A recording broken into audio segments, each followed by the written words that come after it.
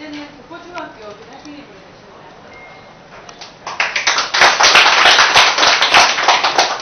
반갑습니다.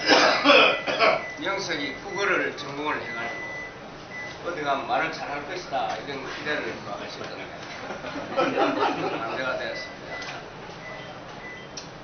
아, 오늘 이런 기회를 만들어준 데 대해서 대단히 어, 고맙습니다.